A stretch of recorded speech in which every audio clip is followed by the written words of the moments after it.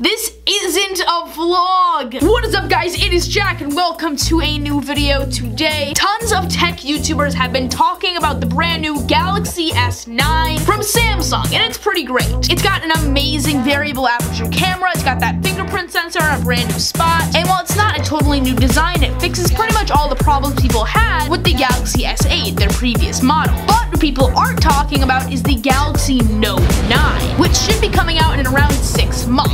that's why I thought I would take an opportunity to think about that today. So the first and probably most prominent thing about this phone that we gotta talk about is the display. So as you guys know, the Galaxy S9 is rocking that Infinity Display 2.0, which basically makes the bezels a little bit slimmer, it makes the bottom smaller, while making the screen just a little bit taller. The Note 9 will probably expand on that. The screen will definitely be bigger since the Note phones are already a lot larger, but I wouldn't be surprised if they made the bezels even smaller. Obviously, Samsung's goal is just to make the entire phone feel like you're holding a display. And based on this leak that Samsung actually provided different, we can see a possible future design in a smartphone, since we have not seen a design like this ever before. The bezels are slimmer, and it just looks a lot sleeker, and I'm very excited for that. The next thing we can expect on the Note 9 is that variable aperture camera. Obviously, we saw that on the brand new Galaxy S9, and it's awesome. It's like right now, I'm using a fancy DSLR, and it's got a giant sensor, and if I wanted to, I could close down the aperture of this lens. So right now, I'm shooting on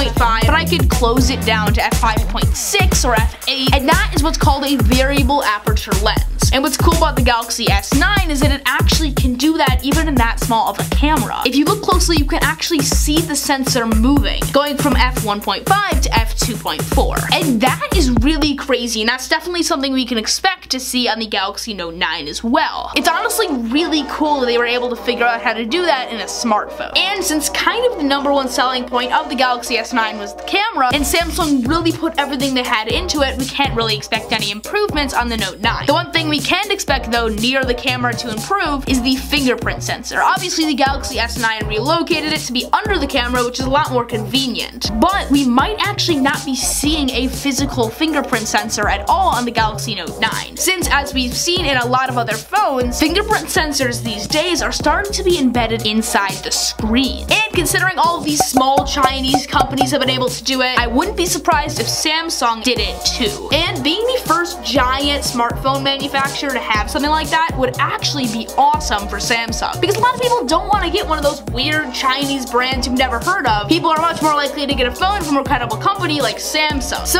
that could bring in a lot of sales. And if Samsung also implements that kind of Face ID technology that Apple's using, that would make the Samsung Note 9 seriously the best phone for people who want a really secure system. I mean, if you have to unlock your phone with your face and your fingerprint, I don't think anyone could replicate that. As far as some other features we might see carry over to the Note 9, we can of course expect to see Animojis, I mean AR emojis, you know, because they're so different, from the Galaxy S9. Which, why don't we just take a second to talk about? I don't understand how Samsung could do this. I mean, you know, Samsung sometimes takes ideas from Apple, and Apple takes ideas from Samsung, but these people from the AR emojis are just creepy. Like, how are they not giving people nightmares? Ah. We also might see an improvement to Bixby. Obviously, Bixby has gotten a lot smarter for the Galaxy S9, and maybe the Galaxy Note 9 will come with some new abilities too. It's just that all Android phones already have Google Assistant built in, and Google Assistant has been worked on for years, while Bixby is brand new.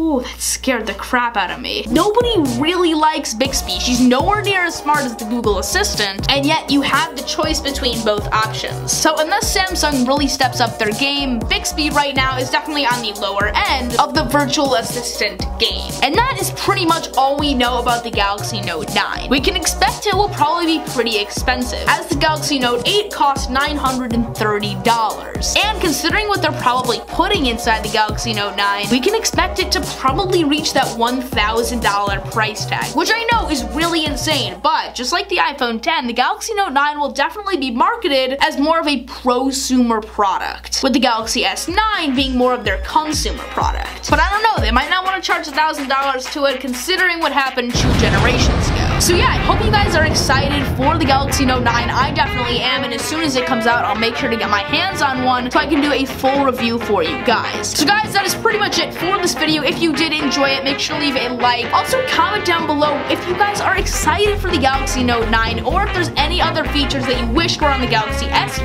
that you're hoping maybe can make it to the next generation. So I will see you guys next time. Don't forget to like the video, comment, and subscribe if you're new. I'm Jack. Peace. You out of my